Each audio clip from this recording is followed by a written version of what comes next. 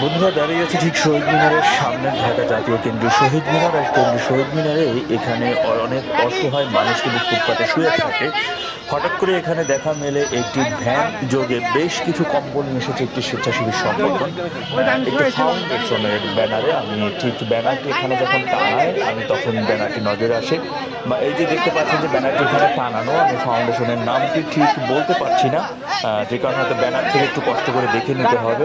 তো তারা বেশ কিছু কম্বলই কিন্তু এখানে নিয়ে আসছিল এবং একটি সাধারণ মানুষদের যারা ফুটপাতে শুয়েছিল, তাদের মধ্যেই মূলত তারা এই কম্বলগুলো বিতরণ করে।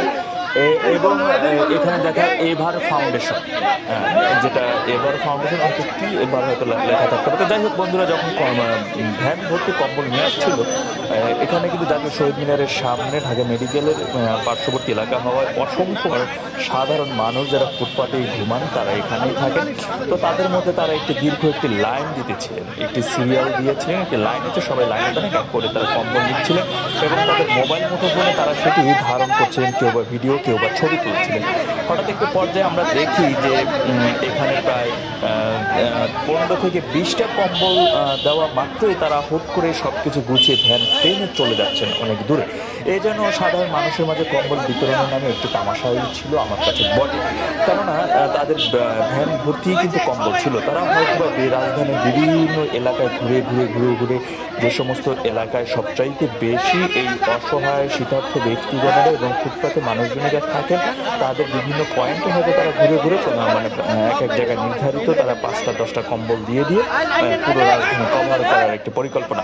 কিন্তু আমার মনে হয়, এইভাবে সাধারণ মানুষের মাঝে কম্বল দেওয়া থেকে শুরু করে তাদের মধ্যে একটি যে হতাশা, আপনারা দেখবেন যে ভিডিও শেষে যখনই তারা কম্বলটি গুছিয়ে ভ্যান চালিয়ে অন্যথায় চলে যাচ্ছিলেন, তখন তাদের পিছনে একটি কম্বলের জন্য কতটা অসহায়ত্বের মতো একজন সাধারণ মানুষ, সে যে কি আত্মনাদ সেটি আসলে বলার অপেক্ষা রাখে না। আমি দীর্ঘ সময় তাদের পিছনে পিছনে, আমিও সেই ভ্যানের পিছনে ছুটছিলাম যে শেষ অবধি কি ঘটে, কেউ বা ট্রেনে হিসড়ে কষ্ট করে কোনো রকম ভ্যানের পাশে পাশ থেকে একটি করে কম্বল তারা নিয়ে যাচ্ছিলেন।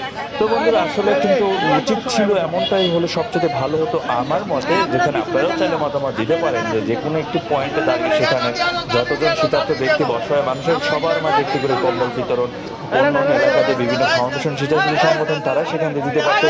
কিন্তু একটি জায়গায় এসে সেখানে যদি আপনি দুশো মানুষকে লাইনে দাঁড় করান বা একশো মানুষকে যদি লাইনে দাঁড় করান, তাদের মধ্যে থেকে সামনের সারিতে থাকা দশ বিশ জনের মাঝে কম্বল দিয়ে এরপর যদি আপনি কম্বলটা বন্ধ করে দিয়ে সেখান থেকে চলে যান, তাহলে বাকি আশি জনের দোষ কি ছিল? তারা কিন্তু প্রশ্ন তুলতেই পারে এবং তাদের মধ্যে কিন্তু একটি হতাশা কাজ করে, এটাই কিন্তু স্বাভাবিক। এবং সেই দৃশ্যটিই কিন্তু এখানে ছিল, যে কারণে আমি বলব যে এই ফাউন্ডেশন কর্তৃক যে কম্বলগুলো তারা বিতরণ করছিল, এটি সাধারণ মানুষের মাঝে কম্বল বিতরণ একটি তামাশা ছাড়া কিছুই না। এটি কিন্তু বিদ্যমান ছিল আমার কাছে অন্তত পক্ষে। কেননা, শেষ অবধি পুরো লাইনে থাকা যে মানুষগুলো, তাদের মাঝে যদি কম্বল দেওয়া শেষ করে তারা যদি চলে যেত, তাহলে একটি কথা ছিল যে তাদের নির্ধারিত এতজন মানুষকে তারা লাইনে দাঁড় করিয়েছিল এই সময়ের মধ্যে এবং এতজন মানুষের মাঝে তারা এত পিস কম্বল দিয়ে তারা তাদের দেওয়া শেষ করেছে। বিষয়টি কিন্তু এমন ছিল না। বিষয়টা ছিল প্রথমে তারা দীর্ঘ লাইনে দাঁড় করিয়েছে সাধারণ মানুষকে এবং সামনে থাকা কিছু মানুষকে তারা কম্বল দিয়েই ছুটে চলছে। সেখানে কম্বল দেওয়া বাদ দিয়ে এমন একটি দৃশ্য কিন্তু এখানে দেখতে পাচ্ছেন যে এই যে তারা কিন্তু এখন কম্বল দেওয়া বাদ দিয়ে তারা কিন্তু চলে যাচ্ছে, তারা অন্যথায় এবং সাধারণ মানুষ। একটি কম্বলের জন্য সেই ভ্যানের পিছনে কীভাবে দৌড়াচ্ছে, কীভাবে ছুটছে এবং আমাকে একটা কম্বল দেন, আমি অসহায় এই কথাগুলো তারা বলছে। আসলে বিষয়টি খুবই খারাপ লাগারই ছিল। বন্ধুরা ভিডিও সম্পর্কে আপনাদের মতামত এবং অভিমতকে কমেন্ট করে জানাতে পারেন। ভিডিওটি চাইলে বেশি করে শেয়ার করুন ওকে সুযোগ করে দিতে পারেন। এটি ছিল বন্ধুরা, ঢাকা মেডিকেল শহীদ মিনারের সামনে একটি কম্বল দেওয়ার চিত্র। যেখানে তারা গাড়ি এসে কোথাও থেকে ভ্যান এসে ব্রেক দিয়েছেন আমি দেখেছি একটি ফাউন্ডেশনের পক্ষ থেকে, তারা এখানে অল্প কিছু কম্বল দিয়েই আবার দৌড়ে চলে গেলেন অন্য জায়গায়। আর কিছু মানুষ একটা কম্বলের জন্য ভ্যানের কিছু কিছু দৌড়াতে লাগল। এমনই একটি ত্রি- চিত্র আমি আপনাদেরকে দেখালাম, যে শীত, বস্ত্র বিতরণ এর একটি ছোট পরিসরের একটি বিষয়। এখনও দেখছি যে দৌড়াচ্ছে ভ্যানের পিছনে অসংখ্য মানুষ একটা কম্বলের জন্য। আসলে এখনও এই দেশে এত মানুষ আছে যে যারা একটি শীত বস্ত্রের জন্য অসহায়, অনাহারের মধ্যে এই পথচারীগণেরা দেখছি কেউ কেউ দৌড়ে পেয়েছেন একটি দুটি কম্বল ভ্যান থেকে ট্রেনে হিসেবে কোনোভাবে নিতে পেরেছেন এমনই দেখতে পাচ্ছি।